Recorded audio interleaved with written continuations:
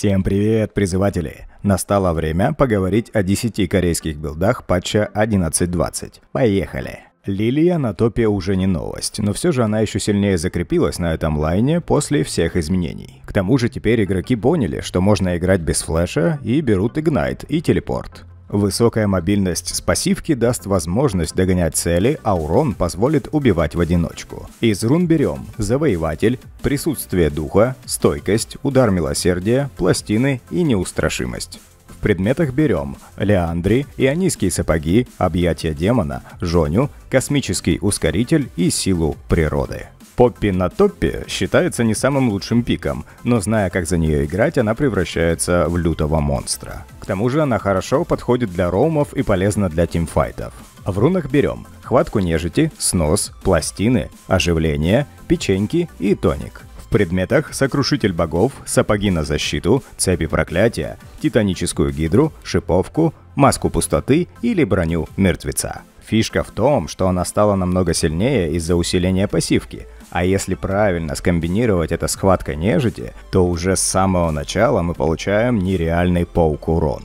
Диана в лесу сейчас тоже не самый популярный чемпион, но ее сила в том, как быстро она скелится. По факту это происходит каждый раз, когда вы будете покупать предмет, а также на шестом уровне. К тому же ганги можно устраивать уже с начала игры, взрывного урона у нее предостаточно. В рунах возьмем Завоеватель, Триумф, Рвение, Удар Милосердия, Магическую обувь и Космическое знание предметах ремень, ионийские сапоги, зуб Нашора, жоню, шляпу Рабадона и посох бездны. На лесного картуса перестали брать флеш. Он фармящий лесник, и выходить на ганги не самая приятная для него вещь. Но с телепортом вы всегда можете зайти за спину врага и влететь таким образом в файт.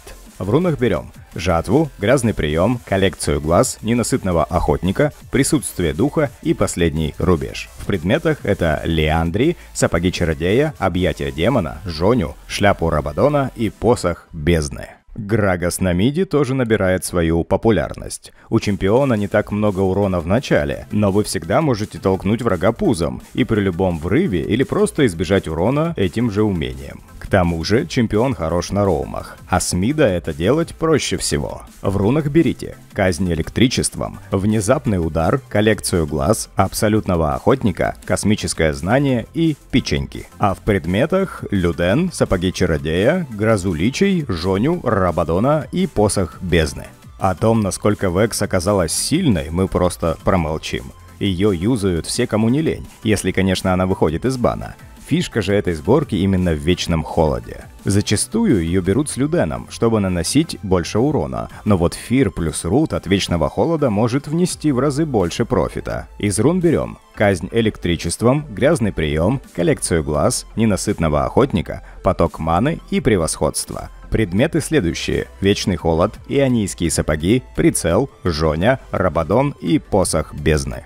Кого точно не стоит игнорировать, так это связку из Камилы на топе и Галио на миде. Сама по себе Камила может уничтожать, особенно в дуэлях, а в связке с таким мидером и вовсе принимать драки один в два или даже один в три. Ведь она будет знать, что если у него есть ульта, то он придет и влетит под нее. К тому же эта комбинация очень хорошо врывается в спину или в тимфайтах даже под одно ТП Камилы. И, кстати, на Камилу из рун мы берем Завоеватель, Триумф, Рвение, Последний рубеж, Удар щитом и Пластины предметах это тройка, сапоги на защиту, ненасытный охотник, Стерак, танец смерти и ангел-хранитель. На Галио нужно взять дрожь земли, удар щитом, пластины, неустрашимость, космическое знание и печеньки. Из предметов вечный холод, сапоги на защиту, Жоня, Рабадон или Морелло, посох бездны и объятия демона. Урон, который враги ловят через такой билд, просто нереальный. Ее Spike с шестым уровнем и первым предметом сильно возрастает. В рунах на нее берем комету, поток маны, сосредоточенность, ожог, вкус крови и ненасытного охотника. А в предметах затмение, ионийские сапоги, манамуне, Злоба Сирильды, Йому и Грань Ночи. Йому даст возможность Фортуне быстро сокращать дистанцию или просто сбегать, а перед ультой жмите Ешку, им будет тяжело уйти от такого замедления.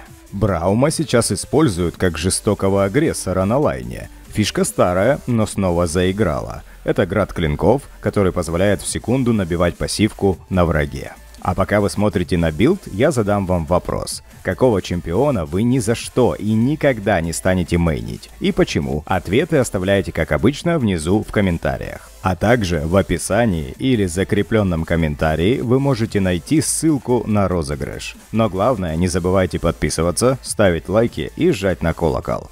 Всем спасибо за просмотр и увидимся в следующем видео.